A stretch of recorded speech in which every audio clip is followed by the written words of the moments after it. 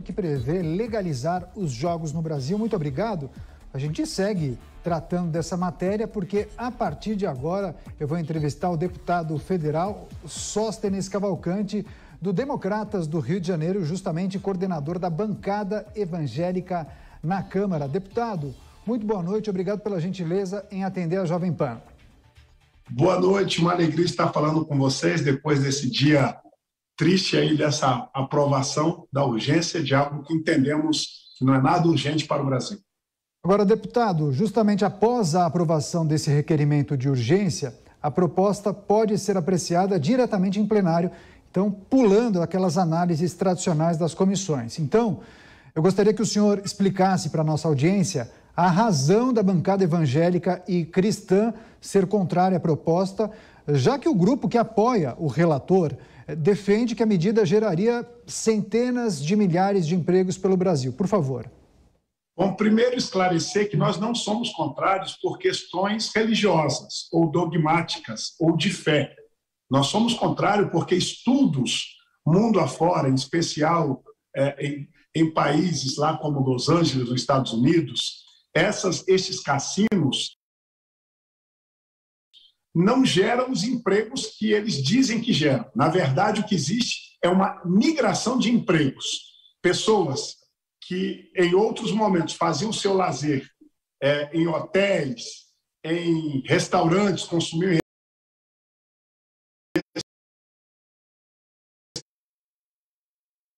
restaurantes, eles passarão, a posterior da legalização de jogos, em grandes resorts, consumirem tudo nesses lugares. Então, o emprego gera, suposto, o suposto emprego gerado pela legalização dos jogos, na verdade, é uma migração. A outra, o outro engano é que vai se arrecadar impostos e que vai, com isso, coibir o jogo ilegal. Nós sabemos que no Brasil tem jogo ilegal, isso é público e notório.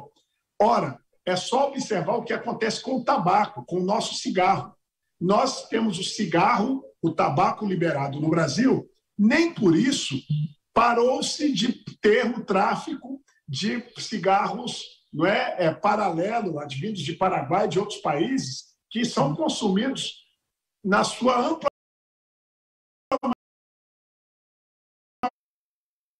ali no Brasil, é, em detrimento dos cigarros tributados. A outra prova são os transportes. Nós temos, nas principais capitais do Brasil, transportes públicos, ônibus, vans, todos legalizados. Entretanto, mesmo legalizando esses transportes, nós convivemos nas grandes capitais com os transportes clandestinos.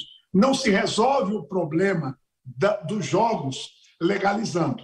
A prova é o seu nome. O nome já é ruim, jogo de azar. Isso não é bom para o Brasil. É lamentável que a urgência tenha sido aprovada hoje e nós esperamos que no ano que vem, caso venha a pauta, nós possamos conseguir conscientizar os nossos colegas e derrotar esse projeto de uma vez por todas. Deputado, seguimos agora com a pergunta do nosso comentarista Miguel Daúde.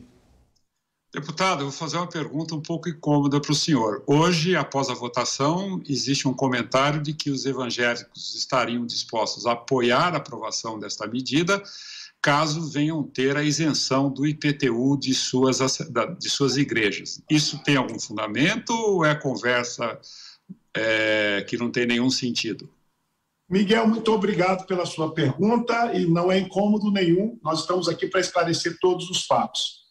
É, houve há 15 dias atrás uma reunião na casa do presidente Arthur Lira, que ele falou da intenção de pautar, da necessidade que ele tinha de dar resposta a outros grupos é, que apoiaram na eleição dele de presidente da Câmara assuntos polêmicos, tais como este assunto da legalização dos jogos do azar. Na oportunidade, o atual presidente da Frente Parlamentar Evangélica, o deputado César de Madureira, de Madureira, falou que nós tínhamos alguns assuntos também que gostaríamos de pautar, já que ele gostaria de pautar este assunto da legalização dos jogos. E ali nós oferecemos ele uma lista de projetos. Entre eles estava este projeto, a PEC, da isenção do, de IPTUs de tempos alugados para instituições religiosas.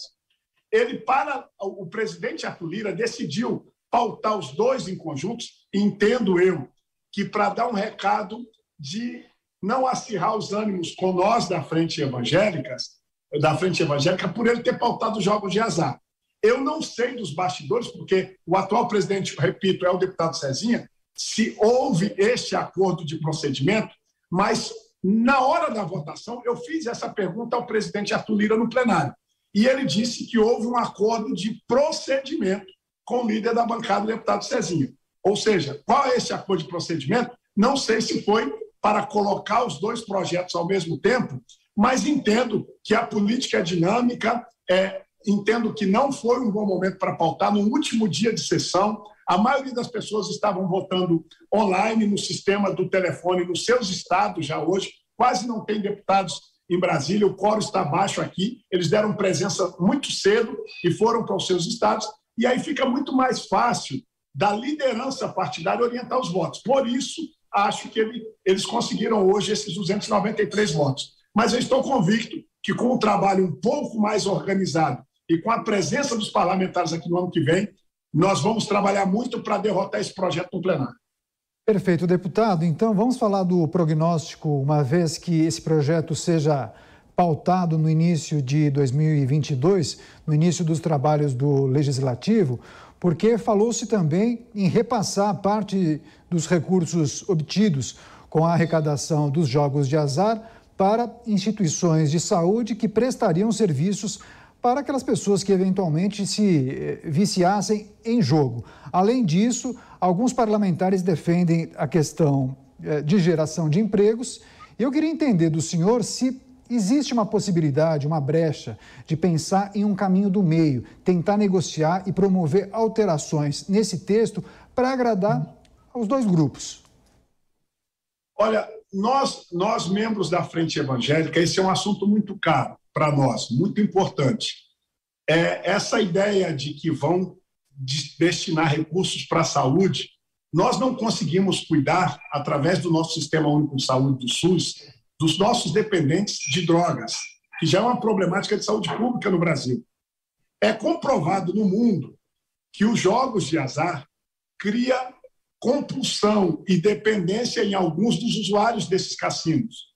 Portanto, os recursos, e isso já está provado com outros dados que vamos apresentar na hora do debate do mérito, que os recursos arrecadados de impostos, para cada dólar arrecadado, se gasta três com saúde pública para cuidar dos dependentes de jogos. Isso não vai trazer nenhum benefício fiscal, financeiro ao Estado brasileiro.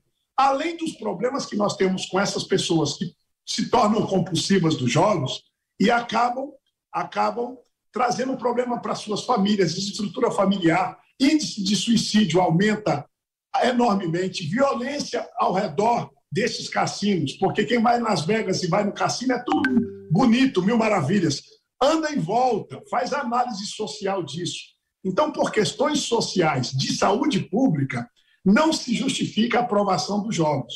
Nós não estamos, nunca vamos discutir esse assunto com viés ideológico religioso, e sim com números, com economia, mostrando que isso não traz o que o lobby dos jogos de azar no mundo querem trazer no Brasil.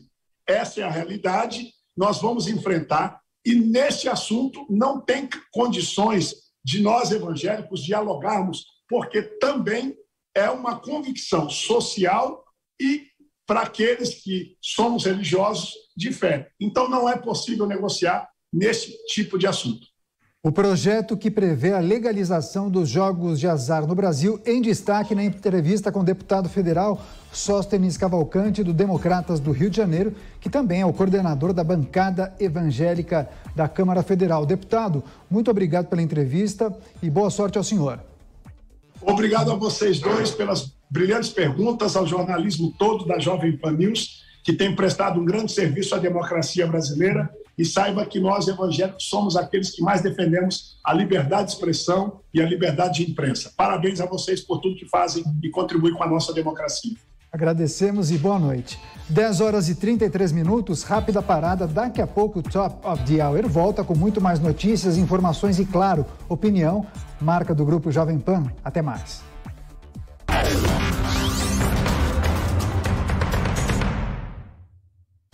Comece o dia bem informado na TV Jovem Pan News. A partir das 6 horas, Jornal da Manhã. O time de reportagem da Jovem Pan informa em tempo real tudo o que acontece no Brasil e no mundo, com a opinião que você precisa saber para ficar atualizado. Logo após as 10 da manhã, Morning Show.